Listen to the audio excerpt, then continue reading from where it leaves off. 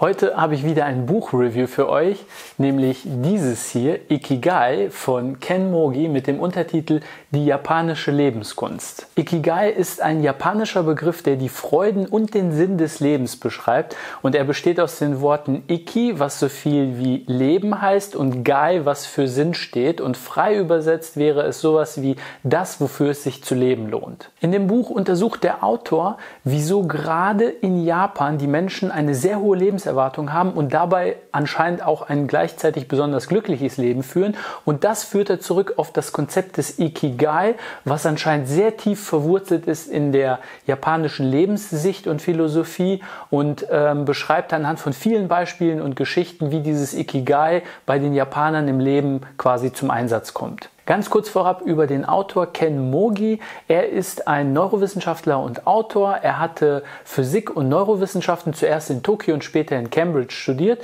und er moderiert in Japan eine sehr populäre Radiosendung und ist Gastgeber für ein Kunst- und Designprogramm im japanischen Fernsehen. Ganz zu Beginn des Buches stellt der Autor seine fünf Säulen des Ikigai vor und sagt, dass seiner Meinung nach das Ikigai genau auf diesen fünf Säulen basiert und diese sind folgende. Das erste ist klein anfangen. Zweitens loslassen lernen, in Harmonie und Nachhaltigkeit leben, die Freude an kleinen Dingen und als letztes im Hier und Jetzt sein. Das sind die fünf Aspekte, die er dann im weiteren Verlauf des Buches innerhalb seiner Geschichten immer wieder aufgreift und erläutert. Ganz zu Beginn des Buches erwähnt der Autor auch nochmal, dass man beim Ikigai Folgendes verstehen muss.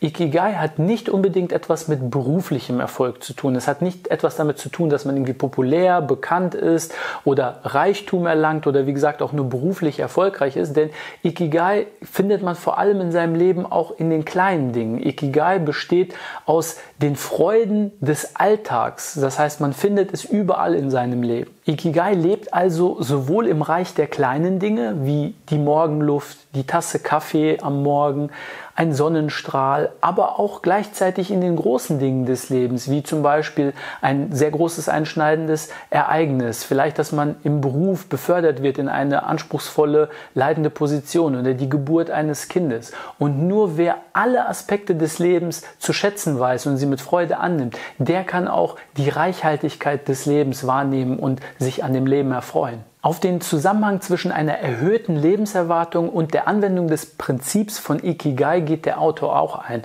Und zwar erklärt er in seinem Buch, dass eine Gruppe von Wissenschaftlern mal eine Untersuchung gemacht hatte, wo die weltweit höchsten Lebenserwartungen sind, und zwar anhand der 100-Jährigen oder über 100-Jährigen, die in diesen Regionen leben.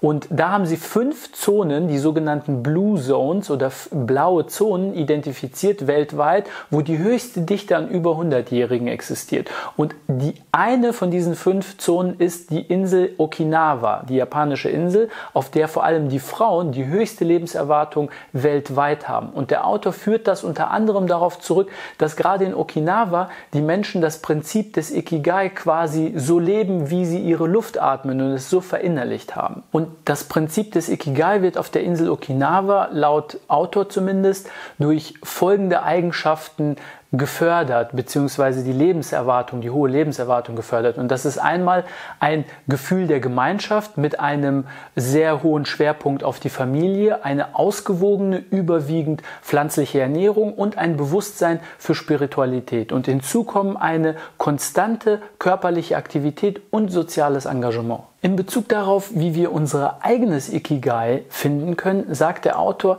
dass es wichtig ist, das in seinem Leben zu entdecken, quasi hervorzubringen und es auszuleben, was einem selbst von Bedeutung ist. Und dabei spielt es keine Rolle, ob vielleicht jemand anderes darin überhaupt gar keinen Sinn oder gar keine Bedeutung findet. In diesem Sinn bedeutet Ikigai quasi, das ist der Grund, morgens aufzustehen. Da fand ich noch ein weiteres Kapitel in dem Buch sehr spannend und zwar stellt der Autor da den Begriff Kodawari vor und das steht in engem Zusammenhang mit dem Ikigai und Kodawari ist quasi das Denken in kleinem Maßstab. Es ist ein Begriff, der wohl sehr schwer zu übersetzen ist und heißt wohl am ehesten sowas wie Beharrlichkeit oder Engagement. Kodawari beschreibt quasi einen persönlichen Standard, den jeder versucht einzuhalten und steht für ein gewisses Niveau an Qualität und Professionalität.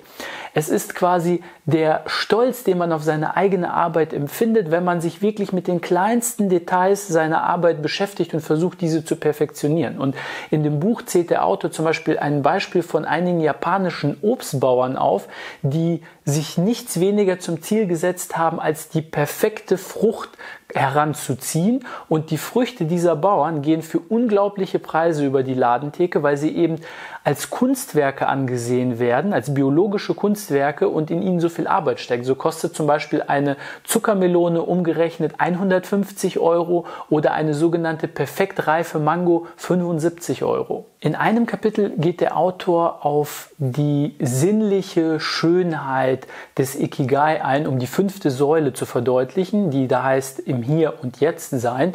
Und dazu sagt er, dass man dafür Achtsamkeit praktizieren muss. Und wenn man das Wort Achtsamkeit benutzt, dann kommt man eben um den Zen-Buddhismus, der ja in Japan entstanden ist, nicht drum herum, weil die Achtsamkeit aus dem Zen-Buddhismus kommt. Und da hat sich der Autor meiner persönlichen Meinung nach etwas verrannt. Er beschreibt, dass die sogenannte Negierung des Ichs Hand in Hand geht mit der Erfahrung der sinnlichen Freuden und dass wenn wir die Bürde des Ichs abschütteln, wir erst dann wahrlich die sinnlichen Freuden des Lebens erfahren können.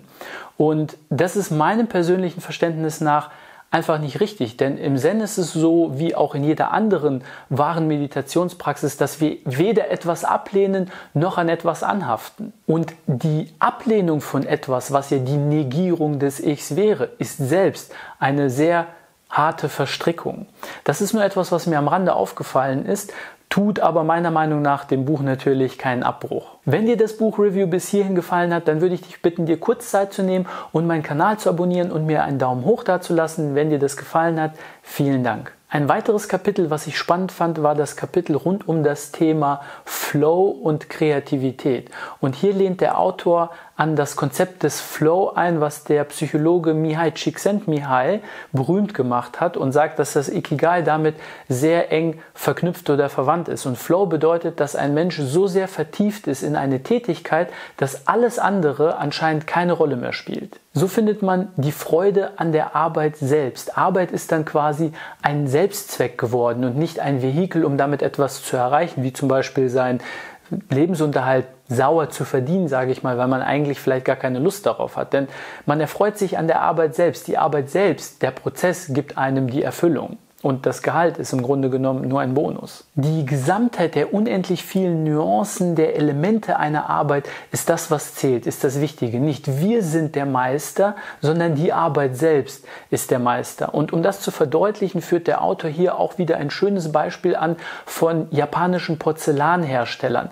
Und bei denen gilt das unbewusste Schaffen als die Königsdisziplin in der Porzellanherstellung. Und mit dieser Methode werden die größten Meister Meisterstücke hervorgebracht. Und das hat auch etwas mit Flüchtigkeit zu tun. Denn die Japaner legen einen sehr, sehr großen Wert auf das Thema Flüchtigkeit. Sie versuchen, die Flüchtigkeit von Ereignissen, von Begegnungen mit Menschen, von Dingen sehr ernst zu nehmen.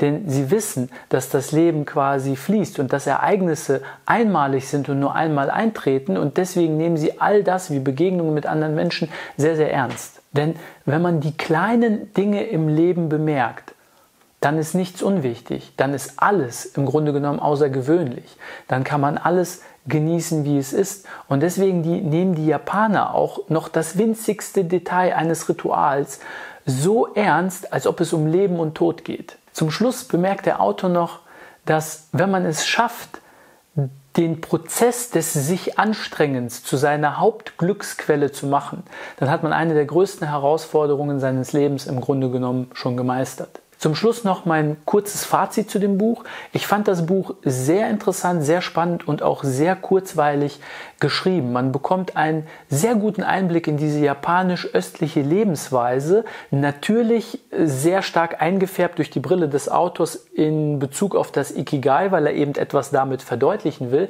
Aber man bekommt doch schon einen Vorgeschmack auf diese Lebensweise, die ja doch sehr stark im Kontrast steht zu unserer westlichen Lebensweise. Und wenn man ein bisschen offen und neugierig ist auf eben diese japanisch-östliche Lebensweise, dann ist dieses Buch auf jeden Fall ein sehr guter Einstieg und ein sehr guter Ratgeber, wenn man so ein bisschen erfühlen möchte, was gibt es denn sonst noch im Leben, außer das, was wir jetzt hier im Westen an Konzepten für Lebenssinn kennen. Und vergiss bitte nicht, meinen Kanal zu abonnieren und mir einen Daumen hoch dazulassen, falls dir dieses Buchreview gefallen hat. Vielen Dank fürs Zuschauen und hoffentlich bis bald.